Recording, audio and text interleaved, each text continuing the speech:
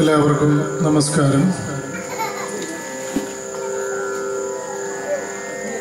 പള്ളിമൺ തെക്കേ ഭാഗത്ത് നടത്തിവരുന്ന അമൃതവർഷിണി സംഗീത വിദ വിദ്യാപീഠം എന്ന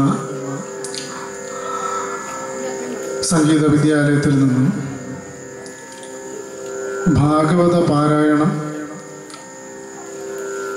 പഠിച്ച് ഏതാനും ചിലരുടെ അരങ്ങേറ്റ ചടങ്ങാണ് ഇവിടെ നടക്കാൻ പോകുന്നത്.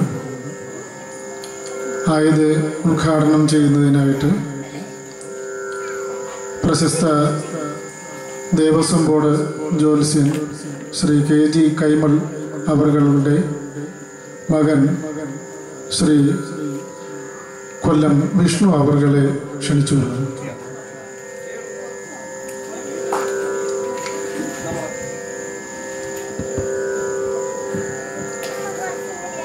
അഭിബദ്ധരായ കലാസ്നേഹികളെ ഭക്തജനങ്ങളെ.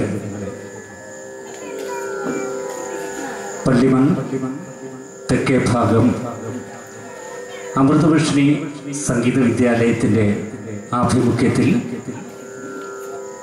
ഇന്ന് ഈ ഈശ്വരീയ സവിധത്തിൽ തികച്ചും ചൈതന്യവത്തായ ഒരു കർമ്മമാണ് ഈ വേദിയിൽ നടക്കുവാൻ പോകുന്നത്.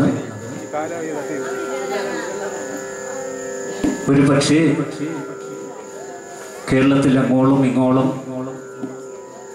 കർണാടക സംഗീത അഭ്യസനത്തിന്റെ ഔപചാരിക രംഗപ്രവേശന ചടങ്ങിൽ സംസാരിക്കുവാൻ എനിക്ക് ഭാഗ്യം ലഭിച്ചിട്ടുണ്ട്. അതുകൂടാതെ കേരളത്തിൽ അങ്ങോളം ഇങ്ങോളം ശാസ്ത്രീയ സംഗീത നൃത്ത വാദ്യ ആദി ആദിയായിട്ടുള്ള കലകളുടെ ഒക്കെ തന്നെ ഔപചാരികമായ രംഗപ്രവേശന ചടങ്ങ് നടക്കുവാറുണ്ട്. പക്ഷേ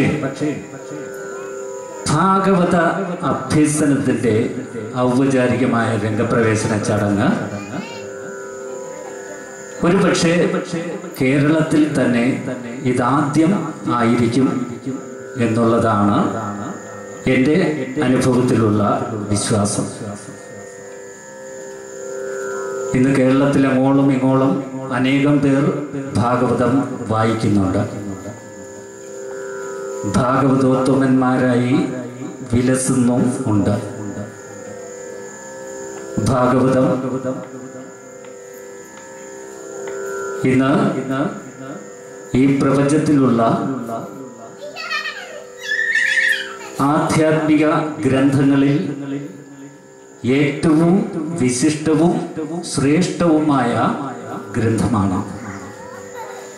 ഒരു ഭാഗവതം ഒരു വീട്ടിൽ സൂക്ഷിക്കുന്നത് ആ വീടിന്റെ സമ്പൂർണ ഐശ്വര്യത്തിന് ഏറ്റവും ഉത്കൃഷ്ടമാണ്. ആ ഗ്രന്ഥത്തെ ഓരോ ദിവസവും നമസ്കരിക്കുന്നത് ഏറ്റവും ശ്രേഷ്ഠമായ കാര്യമാണ്. ഇതൊക്കെ എന്തുകൊണ്ട് എന്ന് ചോദിച്ചാൽ ഭഗവാൻ ഭാഗവതത്തിൽ തന്നെ പറഞ്ഞിട്ടുണ്ട്. ഭാഗവതം എന്റെ സ്വരൂപം ആണ്. ഭഗവാന്റെ സ്വന്തം രൂപം എന്താണെന്ന് ചോദിച്ചാൽ ഭഗവാൻ ഭാഗവതത്തിൽ പറഞ്ഞിട്ടുണ്ട്. ഇത് എന്റെ സ്വരൂപമാണ്.